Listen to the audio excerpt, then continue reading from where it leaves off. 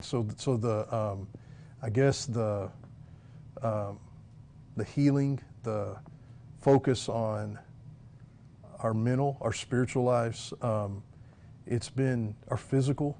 Um, it's it just feels good. Like if things feel so much better now than than before, and we've had we've had um, we've had friends come to Christ that that walked with us through this, and um, we've had um, we've seen. Um, it just seems like so many good.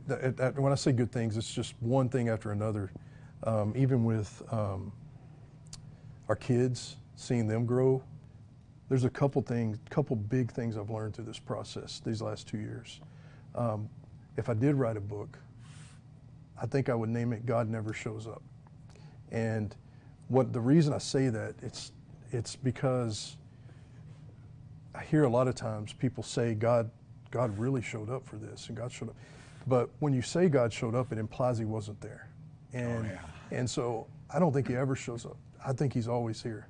And we've learned about God's presence and we we sense it, we know it, we feel it. Sometimes I physically can feel something and I know that's what it is.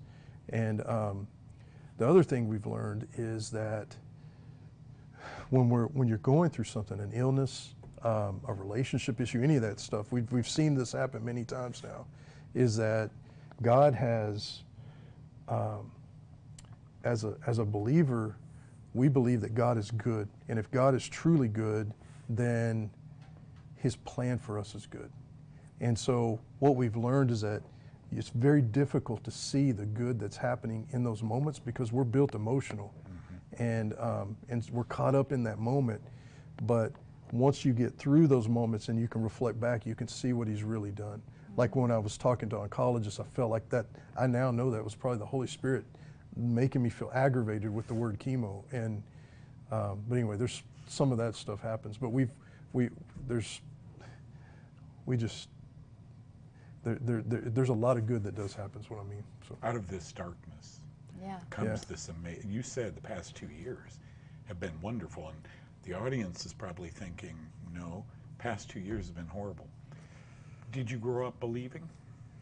uh, I grew up in a Christian faith. Um, I did not become a true believer until I was in my 20s, and um, I didn't understand having a relationship with Jesus until then. I didn't. I just completely didn't understand it.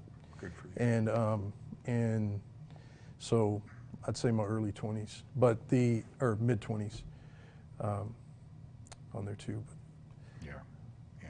And how about you? I grew. I came to know Jesus as a young girl, Good. and You got that foundation. yeah, To shake that foundation, or those three words, you have cancer, and uh, you guys have really grown. I can see. man, we, we see so many people suffering with this. And you, you know the thing is, is that it's not going away. We're going to see more and more and more of this, and um, we need to be prepared. Like it, we got to be prepared to help people.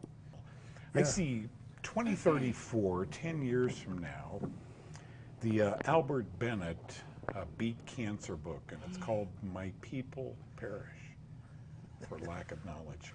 You guys are wonderful. Thank you for coming in today and sharing that story uh, with us. We'll all take it to heart. Thank you. Thanks for You're welcome. us. Thank you too. Thanks for having us.